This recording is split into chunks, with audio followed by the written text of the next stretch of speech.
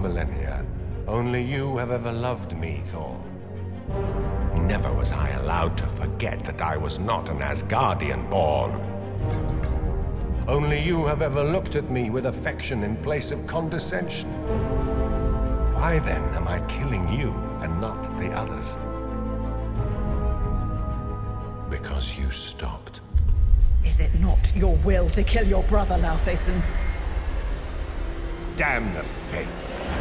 Thor, my brother, is to die at sunrise.